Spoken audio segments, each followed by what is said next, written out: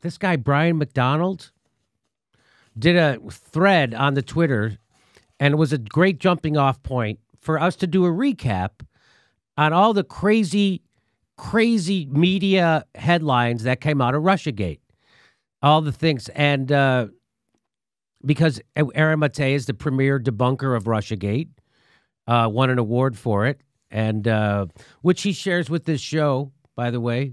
I do, I do. Thank you, and uh, because I was, you know, I didn't, I didn't lay off the gas on that second gas attack in Syria. I went full, but I didn't stop. I kept going. I didn't take a break. You didn't. It's true. I came late. I was Johnny come lately on that one. That's all right. You know, I, I I'm used to being a leader. and uh, so now, so we got Aaron on, and so we're gonna go over some of these headlines, but and we put put some of our own in too that were submitted by Aaron. And uh, so let's start with Bryan MacDonald. It says with the U.S. and the UK press in full Russia hysteria mode right now, it's time for a thread on things the Anglo American media have accused Moscow of weaponizing. We'll start with Charlie Sheen. Yes, really, not a joke. Ready? How Russia tried to weaponize Charlie. Absolutely, we did. Absolutely, we did. Biden has yes men. We have two and a half men. you get one brother. You get one brother who is horny. You get the other brother who is uptight because he has child and chaos. Twitter trolls. Find more sitcoms. they got they have they have tiger blood missiles. I understand. they went straight for the king of winning, Charlie Sheen. king of winning. All right, it, it gets better. It keeps going. Remember this one? This from the Guardian. Russia looks to buy five dolphins with perfect teeth and kill her instead. yes. Yes. This is amazing. These are great. Russia has weaponized the energy sector in war against the West. Oh my God. How did they wep? By the way, uh, this one, this is called Operation Flipper Fangs. I don't know if you know that. well documented. Well documented Operation Flipper Fangs. Okay. This one Russia has weaponized the energy sector in war against the West. Remember, remember what your power could just go poof. Remember that? That's what Rachel Maddow said your weapon. Mm-hmm. now there's a lot of these. There's like I got 40 of these. So don't think I'm gonna. Don't think Jimmy. Why are you going through them so fast? We're gonna be here a while. We're gonna be here a while. This is a. Do you guys forget how crazy shit got? I hope you do because this will be a great reminder. Okay. Uh. Hey, Eurovision Russia weaponized disability. Oh my God. How do you? if somebody can figure out how you weaponize disability, I will give. Aaron, you're the guy. Make sense of that. what does that mean? Eurovision, Russia, and weaponized disability. Well, didn't disability become a word we can't even say? So maybe Russia weaponized the discourse around the word visibility somehow. And you know this is a great newspaper or news outlet because it says Euro, Euromaidan Press news and views from Ukraine, and the the the subtitles are the the the tabs Ukraine International, Russia aggression, more about us. and over here, I don't know if you guys can see this. It says about the source. So the source for this story is a guy named Ihor Vinorakulov and they got a picture of him, and it says about the source. So you could click there if you want to go find out about that guy. That'd be fantastic. Hey, commentary, hybrid business, the risks in the Kremlin's weaponization of the economy. They're, they're, they're weaponizing the whole goddamn co- economy. Okay, so now they're just naming things that and say and putting weaponized in front of it. That's all they're doing. Russia has weaponized the exchange of currency for goods and services. they've done it from from miles away somehow. Somehow they've done it. Okay, Russia has. Wouldn't the, wouldn't the answer then to become for, for us to become a socialist economy to protect ourselves from the capitalist Russians who are weaponizing our capitalist system? You would think. Nailed it. Nailed it. I'm I'm with it. I'm I, with it. Let's I, defend ourselves. What I think the most to me, I can't understand why Russia just doesn't weaponize some of their weapons. They've got it. That's They've the got problem. That's the problem. They're not. They're not. So they got to weaponize everything else. everything. They're not using their nukes. They got. Ru- Ru- Russia has successfully weaponized the idea of weaponizing weapons to be weaponized. I know that. I know they've done that. Russia weaponized my bachelor party, just so you know. Mine too, man. You were at mine. That's right. Oh, that's I was like, everybody start tweeting. Yeah. I'm getting married. oh, that's why there was that dossier in the corner. That's okay. right. Uh, kitchen supply or weaponized by Russia coming up at 11. hey, by the way, not to be outdone by the Dolphins, there's a new alleged Russian spy. It's a beluga whale. That's in the Washington Post, fuck faces. That's in the Washington Post. There's a new alleged Russian spy. It's a beluga whale. Someone has to keep an eye on the Dolphins. That's Make sure they're doing what they're supposed to do. That's right. That's right. Somebody's got you got to always have someone watching, so they're afraid, right? Hey, Russia's population is being weaponized. Yeah. Their population is. What? the- You say we don't have any weapons? Just look in a mirror. You are weapons. You are you weapon. are all weapons. Are you population? Uh, for Russia, even the language can be a weapon.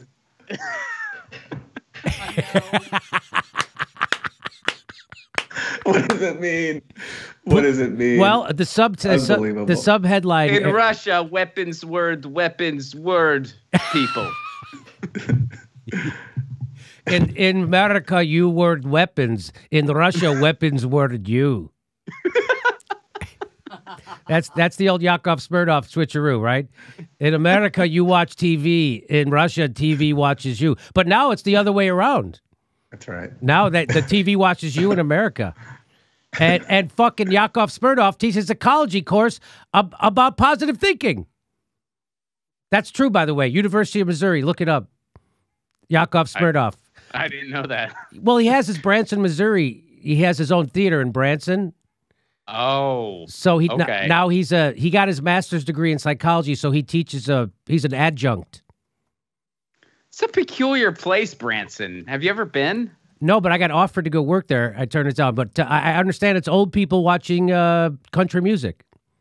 A little bit, yeah. There, there's some of that. It's basically like family Vegas, but it's what it like. There's more theater per square foot there than I think anywhere else in the world. Definitely anywhere else in the United States, and I think potentially the world too, because they just have all these venues, and it's like, yeah, it's like Vegas for families because it's very like Heartland America. Get a burger and a shake, and then this like wholesome entertainment. When they first started, oh, go ahead, Aaron. Well, I was going to say if Yakov Smirnoff was still a popular comedian today and he wasn't on board with Russiagate and like wasn't condemning Putin every day, they would be saying that he was weaponized too, Yes. for sure. Oh, yeah. For sure. Yakov Smirnoff is weaponized, for sure. Yeah. Uh, my when I first started comedy, uh, I started in Chicago, and um, I was doing a show at the Funny Firm in Chicago, which was a great club.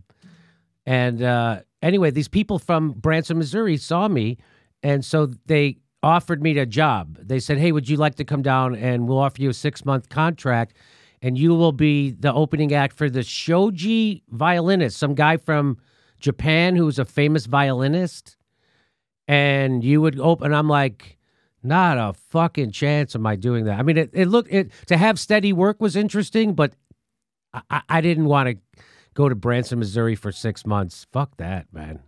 That'd be that'd be a weird mix of things. I mean, I, I don't know who would hear like violin music and be like, "This needs jokes up top." It needs a it, it, it needs a young comic to, who doesn't quite have his feet underneath him, trying to be edgy. that's, that's not what it needed, and that's who I was. So they must have saw me have a good show or something where I wasn't talking about anything. And uh, I'm like, I'm not going to come down and do bullshit family comedy show. I'm not doing that. Anyway, that's just. I think it was the right choice. Anyway, here we go. Here's another one. George Takei says sexual assault allegations are a Russian conspiracy. That's right. Yep. Yep. So if if there's anything that I mean, this is this is sort of sort of a classic Russian operation where they where they try to use an out of work actor's uh, reputation and drag it through the mud through a sexual allegation without without having a point. Jimmy, you were doing, if I can guess correctly, you were doing an, an impression of Luke, Luke Harding, Harding, yes, ah. the esteemed British journalist who I interviewed once, who basically said that everything under the sun is a Russian, is a classic Russian disinformation operation. And of course, when pressed to produce any evidence for all the stuff he was saying, he said, "I'm a storyteller. I'm a, you know, I'm a, I'm a storyteller." Of course, I mean, of course. and if Jimmy's really committed to this impression, you're going to ask him a question, and he's just going to walk out of the studio. That was that was the first thing I saw you do. You interviewed that Luke Harding, and I watched it, and I couldn't believe it. I'm like, they they got nothing. These people have nothing. They, Nothing. they they literally. And then Jim Risen, you interviewed him, and he did the same thing. He just walked off Yeah. your show, or he hung up. They- yeah, they both hung up. Yep. Yeah. Yeah. Couldn't answer a question. You were being super polite. You weren't calling names. You weren't yell- raising your voice. You weren't interrupting them. They, No. they they couldn't handle a conversation about Russiagate where you asked for evidence. That's Jim Risen, bullshitter extraordinaire, and one of the fucking biggest Russiagating McCarthy bullshitting bullshitters that there ever was. And he completely, in my eyes, has ruined his reputation as a journalist. But they all Absolutely. did. They all did it though. There isn't Absolutely, a journalist in. America besides you, Matt Taibbi, and Chris Hedges that's worth a shit, and you know it. Well, and during that time, the only place I could discuss this was the Jimmy Dore show. And I feel it's not just journalism that embarrassed itself, it's comedy too. Because Yes. as you guys were making fun of all this and having a great time because it was so funny. I mean, look at these headlines. All these late night shows were making, you know, gay jokes about Putin Yes. and Trump, and they were going along with it. And Stephen Colbert was crying uh, because uh, because of how Trump made him feel, and basically acting as a parody of a liberal host instead of making fun of the prevailing liberal craziness around Russia. So it was bad for everybody, not just journalism, but mainstream comedy too. They missed a huge opportunity to make fun of this. I I couldn't agree with you more. It was very disappointing to see more people not follow my lead and make fun of RussiaGate and debunk it. And that's the thing, comedians are. But the propaganda was so overwhelming. I mean, you have to you'd have to be in, in politics to figure out that it was bullshit. Yeah, almost right because everywhere you turned, it was RussiaGate, RussiaGate, RussiaGate. Uh, let's keep going. Russia Russian operatives were promoting sex toys on Instagram to sow discord in the U.S. I think it was sowing other things. They're weaponizing. Discord is sown. Discord is sown right before orgasm. Everybody knows this. We're trying to weaponize dildo. The funny thing about this one is that this aspect of uh, Russian weaponization was actually cited in a Senate report. Yes. It has the seal of the U.S. Senate. And they produced examples like this to make the argument that Russia was trying to recruit assets in the U.S. by exploiting their vulnerabilities. So people with, uh, you know, sexual interests or people even with masturbation issues, this was listed in an official Senate report as an example of quote Russian asset recruitment, and it had the Senate the Senate Intelligence Committee's official stamp on it. Oh, this they is an were- actual government document. They were assets, all right. Step one, make mega butt plugs. Step two, take over universe. Oh man.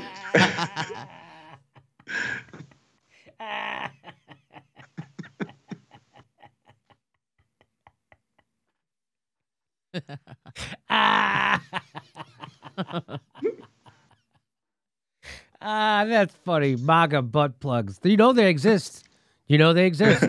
They got to be out there somewhere. if you could think of it, it's it got made. It got made. You know it exists. There's m- MAGA cock rings. You know that's out there. Uh, Putin suggested Trump's controversial new foreign policy move.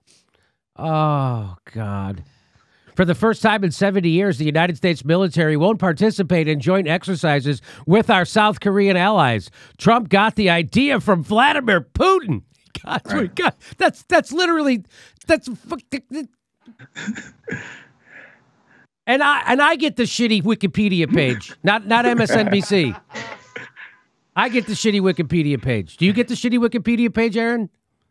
I don't have one, thankfully, because you know, as you talked about on your show, there's this cabal of people with shady ties, probably to the intelligence world, who basically edit any, you know, remotely, um, uh, like anyone with a remotely big audience who is an anti, who who who tells the truth about regime change and U.S. intelligence operations around the world. So people like you, people like Max Blumenthal, they go in and they just they take over their pages and they smear them. You know, in the case of Max, like if the New York Times gives him gives his first book a positive review, these people take that out, Take it out. and then link and then link to some blog saying Max Blumenthal is accused of being a Kremlin, blah blah blah, and they'll put that instead.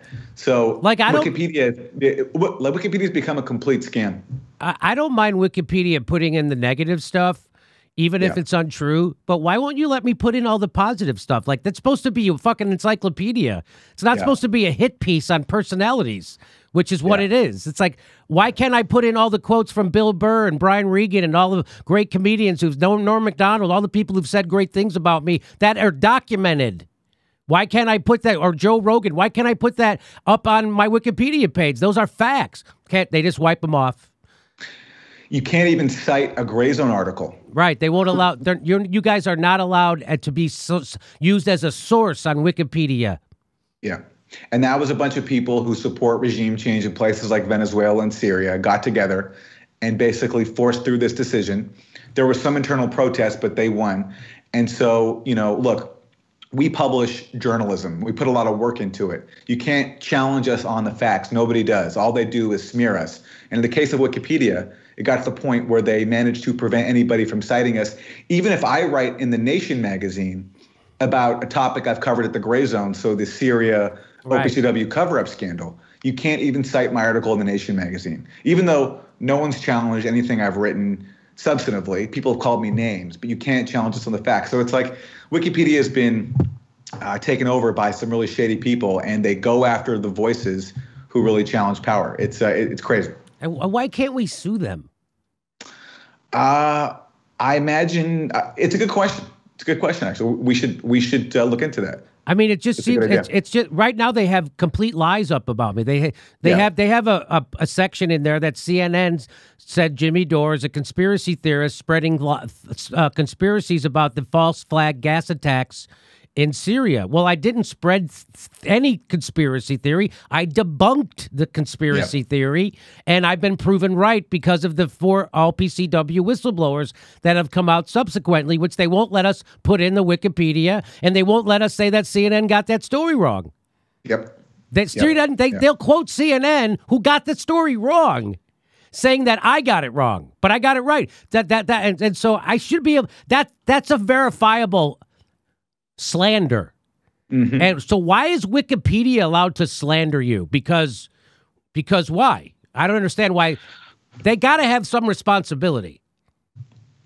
The answer is they have no integrity, and in fact, they're compromised. There, there's a great article at the Gray Zone by Ben Norton where he looks at the main actors behind Wikipedia, Jimmy Wales, the founder, another top level person there, and they have deep ties to the national security state in Britain and I believe in the U.S. as well. And that's what they're that's what they're doing. They are using their platform to smear the voices who are making a difference and challenging pro-war propaganda in the U.S. And we live in an Orwellian propaganda system where people have the illusion that we have, you know, a free exchange of information, but we don't. Anybody who actually challenges power in a real way, like you do, like we do at the Gray Zone, they can't debunk us on the facts. So they have to smear us and even publish false information on what's supposed to be a public site of Yes. free information like Wikipedia. It's a it's a complete scam. It's a Wikipedia is a complete scam, uh, completely, and I, I I should be able to. I think I'm going to look into suing them. I, I actually I'm sure I'm sure there's a technicality why you can't, uh, just like Yeah. why you can't sue Facebook. But another thing is, what's weird is that Wikipedia is like if you Google my name, it's like the first thing that comes up. Why the fuck is that the first thing that comes up? Uh, Does, does Wikipedia and Google have a fucking Do they have some kind of an agreement? We're going to rank your Wikipedia number one. So if you want to smear people, here it is. I would not be surprised if that were true. Yeah. I don't know. I don't know, but I would not be surprised if there was something going on there. Okay, back to this sketch. Michael Tracey tweeted out Tillerson, who was our sec- first Secretary of State under Donald Trump, former uh, CEO of Exxon. Tillerson was hired because he was so friendly to Russia and then fired because he was too so tough on Russia. It's almost like you can make the Russia Gate thesis comport with any eventuality, regardless of fact pattern. So what he's pointing out is that everybody was saying, "Oh, uh, they hired Tillerson because he's he's in bed with Putin and Russia, right?" But then Trump fired him, and they go, "Oh, he's fired him because Tillerson's too tough on Russia." so, what, however way it goes, and what he and he's pointing that Michael Tracey is correctly pointing that out. There are clips of it from the Rachel Maddow show when she first introduced this theory. She she talked about Tillerson, and she said he must have come highly recommended. And then she cuts to a picture of Tillerson meeting with Putin, right? And then whatever, how many, however many months later, when Tillerson gets fired, she was like, you know, like, like screaming and hyperventilating because she was saying that it was because Tillerson had tried to stand up to Russia. So yes, this is the beauty of being in a cult and believing in these crazy conspiracy theories. Any piece of factual information can be twisted to meet your conspiracy theory. It, it never fails. It's a it's an unfalsifiable theory, is what they call RussiaGate. So Absolutely. No, so no matter what they do, you just go see uh, that that that that that, that proves. Yeah. No matter what. When, go ahead. Well, and when Mueller finds no conspiracy, right after like the most exhaustive investigation in history, the FBI, you know, um, uh, like hundreds hey, of. Aaron. Uh, yeah. Aaron, uh, how much did it cost? Do you remember? It was in the tens of millions. I forgot the number, uh, but it was a lot of money. So after one of the Great most co- comprehensive investigations in history, Mueller finds nothing, and then what? It, what has become? Mueller wasn't allowed. He wasn't allowed to look uh, yeah. at the money, at the counterintelligence concerns. God damn it, Mueller! Like they spent two years worshiping Mueller. He's our hero. Saturday Night Live is singing songs about Robert Mueller. There's prayer candles about Mueller, and all of a sudden he doesn't find a conspiracy. Now he's a bad guy, or he was thwarted from getting to the truth. It just the conspiracy theory cannot lose. Here it is, another It's one. a- yeah. Uh, so this guy, so Laurence Tribe, uh, I'm going to guess he's a big Russia gator. He retweets Michael Tracey's uh, uh, astute observation and says, "Not at all. It looks like Russia picked Tillerson to be a Putin puppet, then pushed Trump to fire Tillerson when he proved to be an unreliable puppet." Law professor. That guy's a law professor at Harvard, I think. So no matter what happens, again, just as as as if he you needed an example of what Michael Tracey was saying, he just gave you it. exactly. So Michael Tracey says this is how it fucking works. No matter which way it goes, people say, and then he goes, "Well, I'll show you how it works." That's Laurence Tribe. That's what he did. And they're not. And these are grown-up people with degrees. And they're dumber than a fucking jagoff comedian who's high as a kite. Laurence Tribe, I'll debate you. I'll be high as a kite. And I, I went to, I didn't go to great schools. I went to Columbia College, which is a great school for arts, but it's not a brainiac college. Right? That's why I went there for the arts, because I'm in the arts. Uh, here's another one Washington Post. How Putin's Russia uses Soviet era tricks to evoke racist white fears. Holy shit. I love the Washington Post. Time Magazine, how Russia voters fueled the rise of Germany's far right. Russia! They're controlling everything.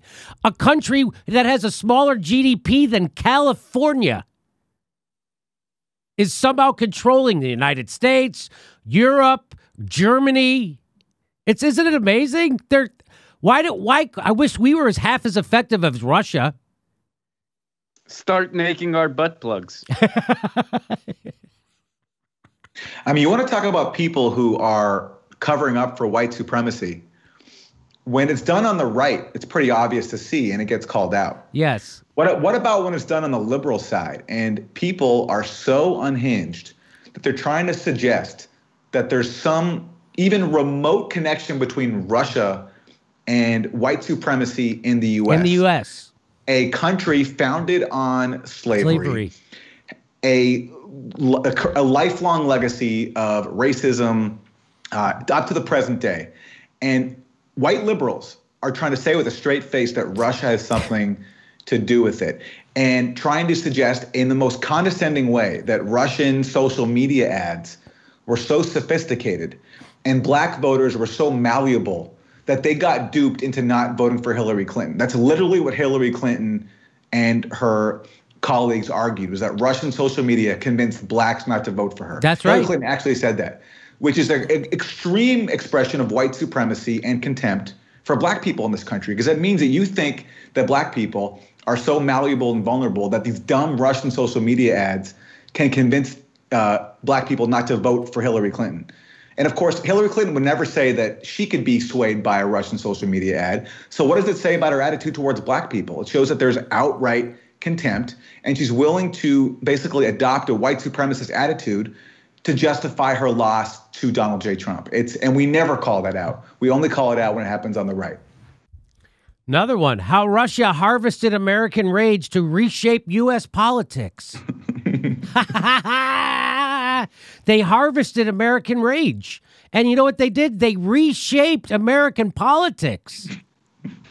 When when did that happen? Because uh, American politics has pretty much been the same since I've been around. Uh, Reaganism, or even lightly shittier than Reaganism. So when did when did they change this? I, I can't tell you. I think that I don't think it has changed. But that the New York Times said they did it, so it has to be true. They've We- never led us astray before. Ever. Malcolm Nance, Russians hacked the mindset of the American people, could throw 28 midterms into doubt. Yeah. They hacked the mindset. I mean, these guys are such geniuses. And it all happened, it never happened before. It all started in 2016. Oh, isn't that something? Russian 2016 influence operation targeted African Americans. On that's what you're talking about, Aaron. It's honestly, if you look at these ads, we've talked about them before. These ads are so stupid and juvenile. They weren't even about the election, except for a very, very small percentage. They barely reached the battleground states. Uh, and they, again, they're not about the election. They're about like dumb Jesus memes and Buff Bernie memes. And, uh, uh, you know, there's like a Yosemite Sam meme where he's angry about not being on TV anymore because he because he has a gun. That it was like a gun ad. And these liberal institutions, the the cream of the crop, the New York Times, put out article after article like this, somehow trying to imply that Russian social media ads influence the black vote. And that's what explains why black people didn't turn out for Hillary like they turned out for Obama. Could it be maybe because Hillary Clinton was a uh, presided over a neoliberal legacy with her husband and then the Obama administration that uh, that increased or, or, or that decreased uh, black home ownership that uh, expanded the carceral state uh, where Hillary Clinton called uh, young black kids super predators might it have something to do with any of that no it's because Russian social media ads fooled vulnerable black people to not voting for her Here's another one.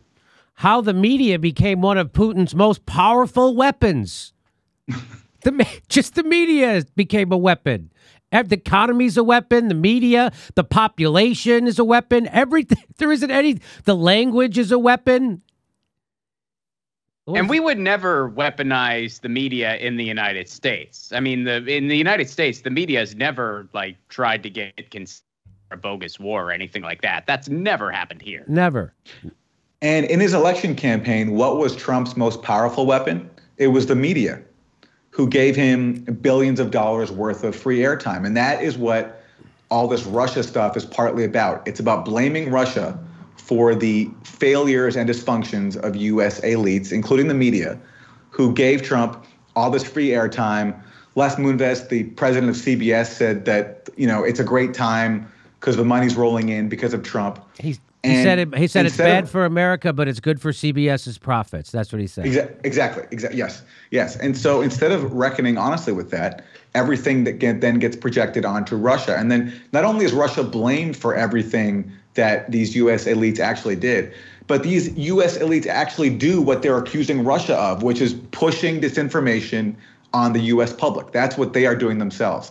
There's no Russian disinformation campaign. There's a RussiaGate disinformation campaign.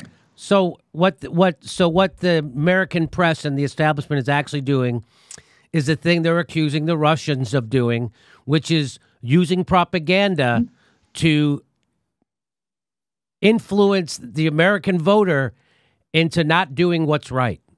And Absolutely. that's exactly what RussiaGate was. The RussiaGate was uh, to instead of the Democratic Party and the establishment media having to reckon with pushing Donald Trump and allowing and giving him all and Chris Hayes covering Donald, Donald Trump's empty podium instead of Bernie Sanders' speech, which he did. I saw him do it with my own eyes.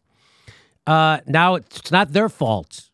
It's somehow someone else's fault. It's got to be Russia, and that's exactly what RussiaGate was. And people still don't believe it. I mean, I people who know me personally and watch my show still think Trump's a psychopath and we can't have him close to the nuclear button. It's like you realize that George Bush and Dick Cheney were way, way more authoritarian than Donald Trump, way scarier, tried to get way more. They were breaking way more fucking norms than Donald Trump did. That people have no idea. Still to this day, they think that that Joe Biden is the reasonable alternative to Donald Trump instead of the way more dangerous, with way more blood on his hands, a way worse li- history, and a way worse body count, Joe Biden. Donald Trump didn't. Or Donald Trump didn't orchestrate our in, our incarceration system. You know who did that? Joe Biden. If can you imagine if Donald Trump came up with the crime bill that incarcerated black and brown people at the and and and somehow that Joe Biden did, and he's seen as the antidote to racism. We're the world's largest penal colony. We have 5% of the world's population. We incarcerate 20 some percent of the world's pop, incarcerated population. Uh, Isn't it something like one out of every 10 black person in prison is in prison in the United States?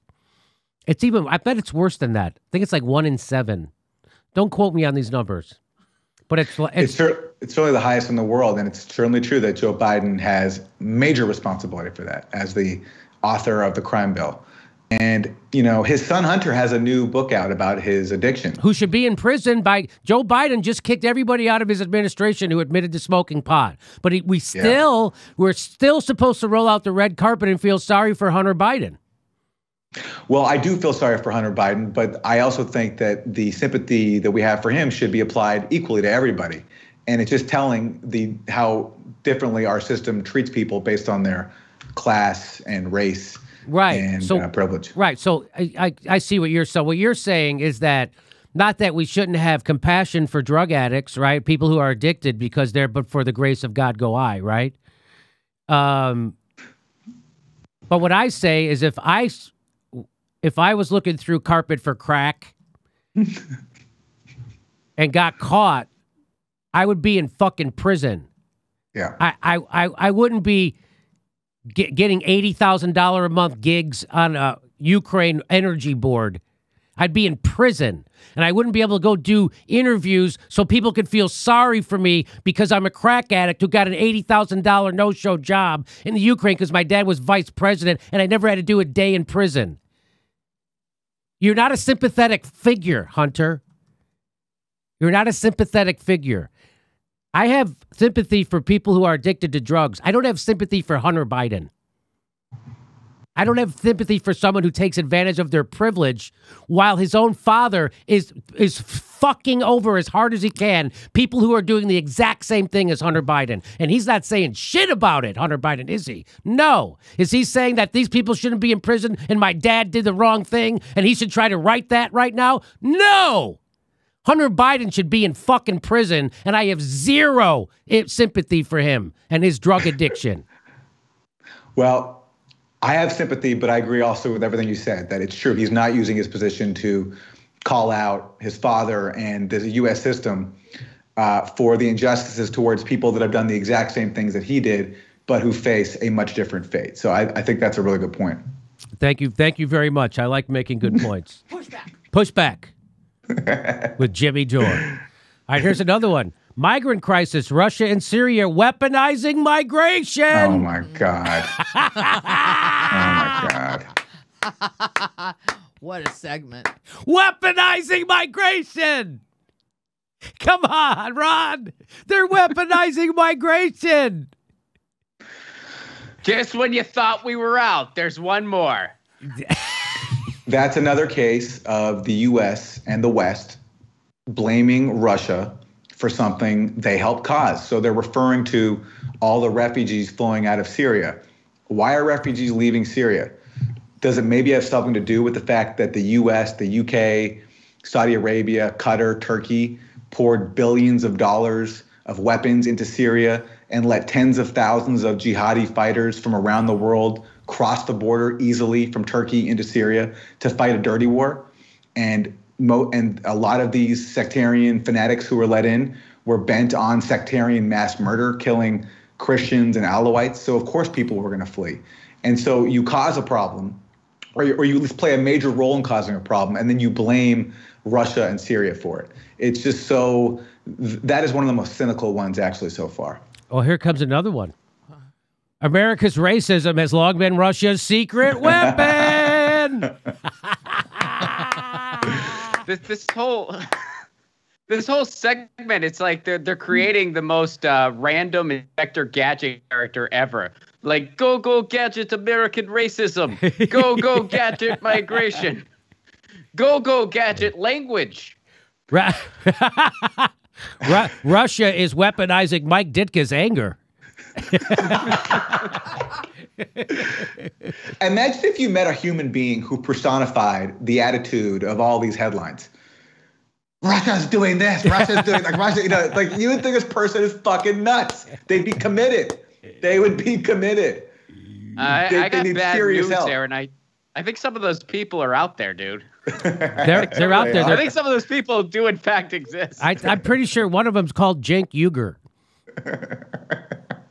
Another one is called Rachel Maddow. Those those would be two off the top of my head. Okay. And that's the that's the beauty of our propaganda system. It's so well that we'd expect MSNBC, CNN to go along with the stuff. That's what they do. They they're not objective journalists. They exist to advance the propaganda of the establishment. But during Russiagate, what did we see? Not just the establishment media, Even the but even the so-called anti-establishment media like the Young Turks, like Democracy Now, like The Intercept, where the editor-in-chief was talking about there being soft, loose collusion. Uh, and Jim Risen, The Intercept's uh, chief correspondent on this stuff, was pushing this Russiagate fan fiction. Even they got duped by it too, which speaks to not just their own, uh, how, just how uh, like what dupes they are, but also how effective our propaganda system, how it even incentivizes so-called anti-establishment outlets to drink the Kool-Aid. Um, it's just nice to know that I'm a better journalist than everybody at the Intercept. It's just that's just a fact. That's just a fact. That's not that's I know that sounds like a joke. That's literally a fact. I'm not a McCarthy smearing, Russiagating conspiracy theorist. That makes me in fact I debunked it. That makes me a much better journalist than any of those people at the Intercept. Now that Glenn Greenwald's gone.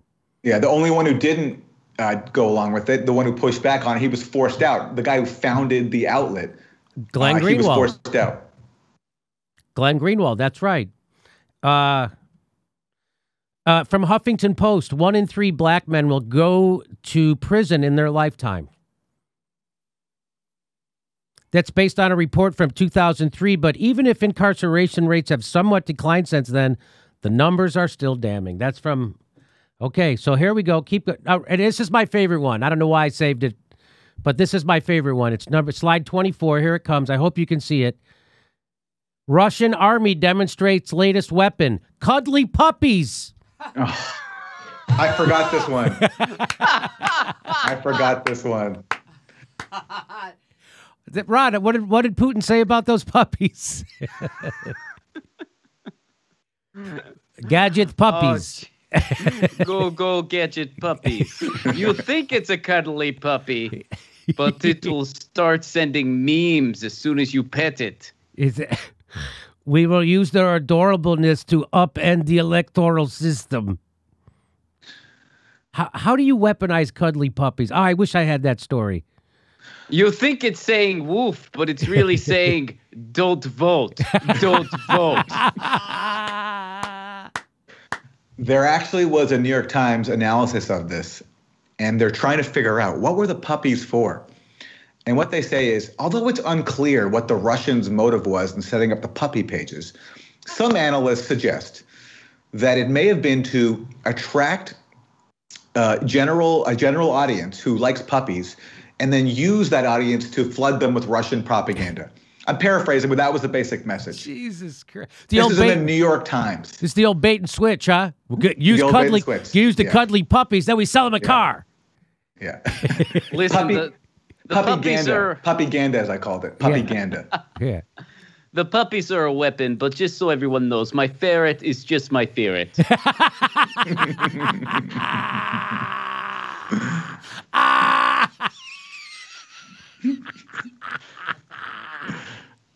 Ah!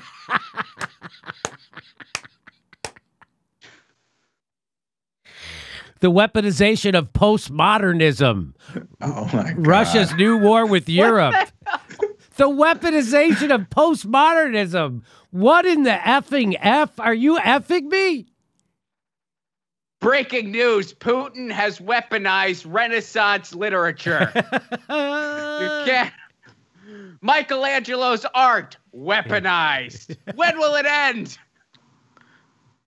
Postmodernism. I don't even know what that really means. Is that is that postmodern? Does that mean postmodern ri- writing or postmodern architecture? Isn't architecture called postmodern? I don't know. Yeah, I don't know if they mean the whole era or if they mean literature. I mean, that's the route I took it. but, uh, Literature, right? but Literature. it's amazing. They mean literature, right?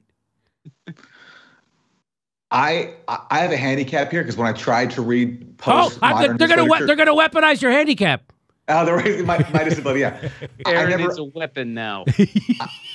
I never understand really postmodernist literature when I've tried to read it. So I'm I I have a deficit here. But I, what I think this might mean is that That's they, because you can't read a weapon, Aaron. You can't read weapons. Please continue. there's this there's this whole like uh, branch of RussiaGate uh, discourse, which is that Russia has like turned reality on its head, so you don't know what is real and what is not. The Russians have done that to us. Like Masha Gessen writes about that in the New Yorker in the New Yorker magazine. She's supposed to be like the thoughtful uh, RussiaGate uh, writer when really, and, and she sometimes like criticizes it a little bit, but really she finds new ways to justify it. And so she's written about how Russia has inverted reality, so Americans don't know what, what is real or not anymore, and the Russians are confusing us. And that's what I suspect is is the weaponization of postmodernism. But of course, they're ascribing to Russia what they are doing themselves. It's an it's a giant projection. That's all it is. It's a, just as I, I'm studying Carl Jung. This is exactly what that is. A di- they're projecting their shadow onto the mm-hmm. Russians. In Russia, weaponizing refugees to is Russia weaponizing refugees to advance its geopolitical? They're weaponizing refugees. This is very much like weaponizing migrants. Yeah. Very much like that. They- they- this is your jour- This is your uh, Western uh, corporate journalism. Fuck faces, enjoy it. you know, if there's a state in the world that has weaponized refugees, it's Israel, where there are millions of Palestinians living in refugee camps in Jordan, in Lebanon, in Syria, because they're there because they were expelled by Israel. And Israel has our full support. We supported Israel in all of this. Imagine a headline in the US press about the Israel's weaponization of Palestinian refugees. You would never ever see that. No, no. Uh, by the way, AOC was asked about the Israel-Palestinian conflict. I have a video we're going to show later. It's the one you sent me. Uh, Russia's weaponization of tradition. they're, they're weaponizing tradition. The case of the Orthodox Church in Montenegro. That's from 2020. That's from September 25th, 2020. Wow, that's from the Center for Strategic and International Studies. Boy, it sounds really smart and official and like they're crossing their T's and dotting their I's. They're just a bunch of fucking Alex Jones maniacs. that's all. At any given moment, that that the American press corps, every one of them can turn into Alex Jones, and in fact, they did for the last five years. the difference between them and Alex Jones, Alex Jones sometimes gets shit right. You know, every Christmas Eve, my family does a traditional seven fish dinner. Perfect. Perfect. the weapons are lining up for us. Who else does this? Here's the uh, Mail Daily Mail. Uh, can, can Russia control the weather? Climate climate researchers say CIA fears hostile nations are triggering floods and droughts. If they could do it, why couldn't we? And why would there ever be a drought? Uh, Putin's Russia has weaponized World War II.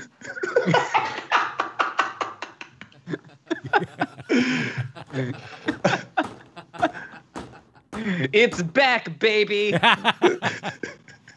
Eh, eh, it's eh. our weapon now. World War II is in the chamber. we will shoot Put it. it next to the refugees. Eventually, we're going to have to alphabetize this stuff. It's getting confusing. This is this is so much fun. Is 14-legged killer squid found two miles beneath Antarctica being weaponized by Putin? Yes, that is right next to the sex toys. 14-legged killer squid found two miles beneath the Antarctica. Is it being weaponized by Putin? It's the subheadline. Want to hear it? A killer giant squid that can hy- can they hypnotize its prey and paralyze humans at a distance of 150 feet using poisonous venom is being developed as a secret weapon by Vladimir Putin, a scientist has claimed. I wonder if in, Putin, in Putin's lair, he then he organizes like matches between the the like his beluga and the squid, and they have like you know like they face off. No, not with the squid. Not with squid. Only thing I did with squid, I took picture with it when I didn't have shirt on, but that was it. Other than that, I left squid alone. How Putin's Russia turned humor into a weapon. Oh weapon. my god! Oh my god! That's by Olga Robinson. Olga Robinson from the for the BBC. That's in the BBC. How Putin's Russia turned humor. Everything's a weapon. I mean, do you? After- do- I mean, if this is, After they go ahead. after they wrote that article, they protested outside of BBC Four. You don't know this. You're weapons. you guys are all weapons. Where's Ricky Gervais? He's the most powerful one. We got to get him out of here. Quit laughing, you guys. That's a weapon. Cancel the in-betweeners. Russia reportedly used Pokemon Go in an effort to inflame racial racial tensions. Oh my god! You collect them all and you think you win, but I win. These are the people who say Alex Jones is crazy. These are these are those people. These are the people who call us crazy. And who say that they care about racism? Yeah. If you care about racism, how can you say that headline or write that headline with a straight face? right? Russia reportedly used Pokemon Go in an effort to inflame racial tensions. Do you think Russia or anyone can use Pokemon Go to inflame racial tensions? If you do, then you don't care about racism. You're, you- you're saying that you think racism is a joke. Yeah, That's it's, it's like a cartoon. Like racism's kind of a cartoon. Yeah, Yeah. yeah. Russia accused of weaponizing space after anti-satellite missile test.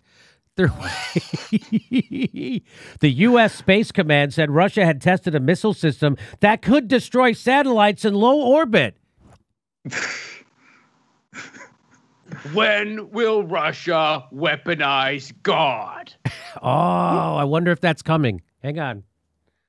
Weaponizing misinformation to destabilize the West. UK Defense Secretary Sir Michael Fallon warns of Russian hacking. They're weaponizing misinformation. This is this thing is misinformation. This whole Russiagate is misinformation. The whole thing. Try to tell somebody that, Aaron. How do I mean? I still every day because I run into regular people who aren't in journalism, uh, and I tell them about this, and they still won't believe it. Even someone, I, I have a friend who's an astrologer. Yeah. She she she believes a straw. She believes RussiaGate. Well, is she okay with space being a weapon? Does she know that part? Uh, That's what I'm saying. And she watches my show, and she still thinks that Donald Trump is somehow uniquely evil, crazy. That this stuff might be true, and it's heartbreaking to me. It's like, oh, it's just there's just And again, it, it's because they were subjected to exactly what all the outlets that they're reading are accusing Russia of a massive disinformation campaign, constantly, every single day, nonstop, getting so ludicrous as to accuse Russia of weaponizing all these fallacious things. And it was done for a bunch of, of reasons. And it hit vulnerable people who were so afraid of Trump, who were aggrieved by his victory, and they took advantage of that. They, they, they did the exact same thing that they accused Russia of, of exploiting people's vulnerabilities. People were traumatized by the Trump victory, and also people generally want to be part of a of of a community of something.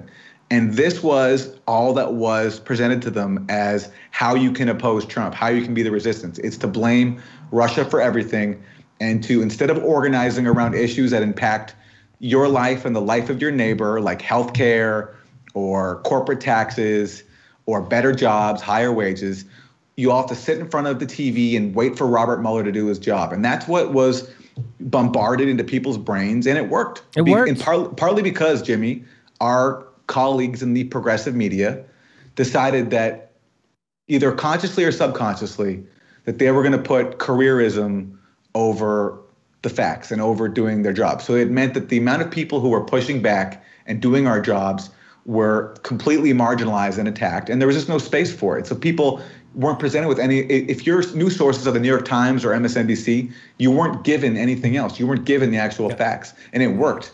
It's a uh, it's a textbook case of manufacturing consent. Even it's like supersized manufacturing consent because manufacturing consent in the original book by Chomsky and Herman doesn't account for even progressive lefty media playing along. Yeah, and not and even the progressive lefty media, uh, most of it pushed RussiaGate, and even the ones who didn't push it didn't debunk it because Yeah. they were cowardly.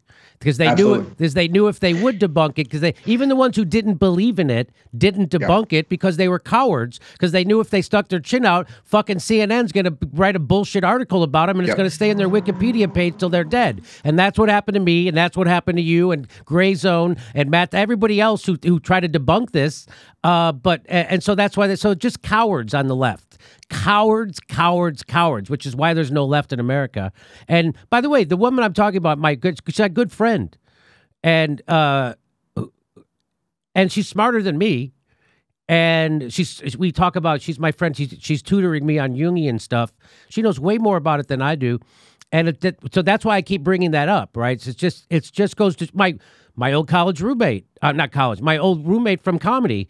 Uh, every time I talk about this fucking Trump, Trump, I go, you're still still. So he was about to lose his house, right? Because he they he, they wouldn't give him a loan because he did. He's just a comedian. He can't work, and so he, he's he's got seven hundred thousand dollars equity in his house, mm. but he doesn't have any money to make the payments right now. So he wanted to take out a second just to get him through the COVID thing, and and they wouldn't give it to him because he doesn't have any income now. He goes, "That's why I need the loan because of COVID. You know, I'm a fucking comedian. I've got seven hundred thousand dollars in equity in this house. I'm not going to walk away from it." Yeah. and they still wouldn't give it to him. And when he called me, he's what is he still bitching about? Trump. Hmm.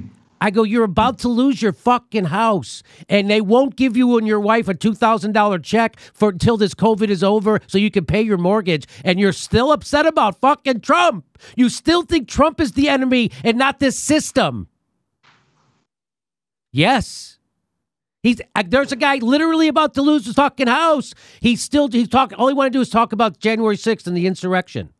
Can you believe that shit? I'm like, you're about to lose your house, Yeah. and they won't give you relief. Anyway, here's here's another one. Russia's Russia is researching on how to how to weaponize deadly Ebola virus as part of a catastrophic doomsday project. They're going to weaponize Ebola. It's what the? They're going to try and make Ebola deadly? What do you mean? Oh my god. A unit of the FSB spy agency is believed to be researching Ebola and Marin, the Marburg virus. Diseases lead to organ failure and internal bleeding and have caused outbreaks. Ex intelligence insider fears Moscow could be going beyond studying diseases. Oh my God. Jesus. I think I think they they wrote this headline by like pulling bad things out of a hat. Like Yeah. they were just like Russia is trying to weaponize. All right, shake it up good. Shake it up good. We might get we might get syphilis, we might get uh, SARS, we might get let's see, up Ebola. Ebola. Thanks for picking that out there, Evie. We got Ebola and then it's like it, it- to have a or- deadly catastrophic we might get um we might get Armageddon. We might get uh, Hell's Day. We might oh Doomsday. All right, all right, Doomsday. All right, uh, copy and print that and just throw whatever press release matches. And again, it's projection. The U.S. has run a biological terror campaign against Cuba for decades. They've introduced viruses there that killed livestock and and hurt people. Even now with the with the coronavirus, the U.S. has weaponized that too, bullying nations into not accepting the Russian vaccine. In Brazil, which really needed it because Brazil's got probably the worst outbreak in the world, uh, pressuring Panama not to accept Cuban doctors Yeah. to help them out. Uh, that's the U.S. weaponizing the vaccine and weaponizing this pandemic. So again, it's it, it's always projection in more ways than one. Will Russia weaponize its wheat as the world combats the coronavirus? we got. Hey, China and Russia have weaponized space with killer energy weapon satellites. hey, You know, Jimmy- fake, fake yeah, news yeah. and botnets. How Russia weaponized the web. I have to go back to that headline about wheat for a second because again, projection. That's what the U.S. is doing right now in Syria. There's a great article at the Gray Zone by Ben Norton where it's called something like "Using Wheat as a Weapon," and that is quoting a U.S. official who talked about the fact that the U.S. is now occupying one third of Syria, and that region holds Syria's wheat reserves. And this person talked about using wheat as a weapon to put pressure on Syria to give in to U.S. demands. And what that means right now on the ground is that Syria is facing a famine and they can't access their own wheat because the U.S. controls it. So again, projection. That is that is exactly right. So that's a version of siege warfare Yep. That we're doing in Syria right now, occupying their wheat fields and their oil fields. Yep. It's just amazing. All right, that's it. We finished that segment. That's an amazing segment. Oh my god. And so I just want to go back to the beginning of this to thank the guy who started this. Jesus, these are hilarious. They're all funny. Uh, Bryan MacDonald. Thank you, Bryan MacDonald, for doing this, putting that together. We added some of our own. Uh, I just said, can't. I'll never get over how Russia tried to weaponize Charlie Sheen. What? That's where it all started. What's behind an odd international campaign to free a Russian operative from a Libyan jail? That's by Dean Sterling Jones and Amy Mackinnon. That's September 23rd, 2020. Those, those are people I'm very proud. They're very proud of their work. Jesus Christ. Next, we're going to weaponize Kevin Bacon and get all six degrees. hey, everybody, this is the part where I tell you where all our live shows are, but there aren't any. And then this is why I tell you to join our premium program and get extra content, but nobody's got a fucking job. So just enjoy the video.